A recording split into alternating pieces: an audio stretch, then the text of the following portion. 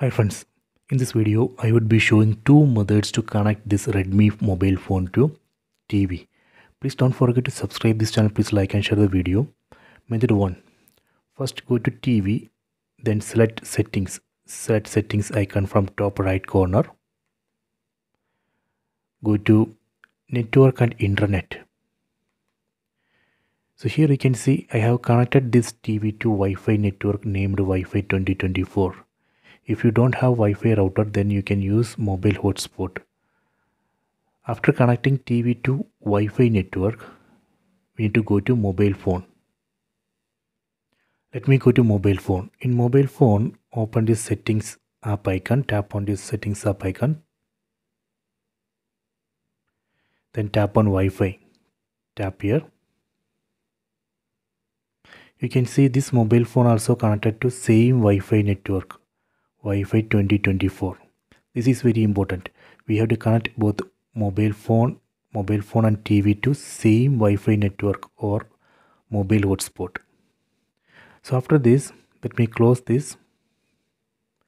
In mobile phone, we need to go to settings. Again tap on the settings app icon. So this is a method one. Then tap on connection and sharing. Tap here then go down. Here you can see wireless display. Tap on wireless display. You can see mobile phone has detected TVs in the same Wi-Fi network. You can see right now this mobile phone has detected Google TV and Android TV which I am using. So right now I am using Google TV tap on this TV name Google TV then tap on start now. See screen mirroring is working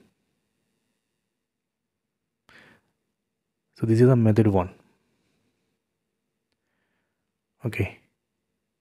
So next I will show you how we can stop this screen mirroring again again in mobile phone go to wireless display then tap on connected TV name tap here. So here we get disconnect tap on disconnect. Done. So this is a method 1 let me go to method 2 method 2 in mobile phone, open Google Play Store. Tap on this Google Play Store icon. Then we need to install this app, Google Home app. I already installed this Google Home app. Let me open. Tap on open. Then we need to log in with the Gmail ID in this Google Home app. After that, just tap on this devices tab. Tap here. See here you can see this Google Home app has detected Android TV and Google TV which I am using. Here you can see the name of the Google TV, this TV. Tap on this TV name. Tap on cast to my screen. Tap on cast screen. Tap on start now. Done. See, screen mirroring is working. So this is a method 2 okay so if you want to switch a display to full screen you can enable screen rotation in mobile phone. Then just rotate the phone that way we can switch a display to full screen in both TV and mobile phone. So next I will show you how we can stop this. Again go to Google Home app then tap on stop mirroring. Done. So these are the two methods. I hope you have enjoyed this video. Please subscribe this channel. Please like and share the video